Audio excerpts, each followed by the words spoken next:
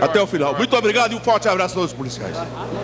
Senhor presidente, deputado Marcelo Tagiba para falar contra. Senhor presidente, enquanto o orador se designa, vai à tribuna, eu gostaria de fazer um breve registro em nome de todos os servidores da casa, agradecer a Vossa Excelência pela gestão que fez junto ao presidente do Senado, no sentido de que aquela casa aprecie rapidamente o plano de cargos e salários da Câmara dos Deputados, que na verdade fará apenas uma mera revisão salarial.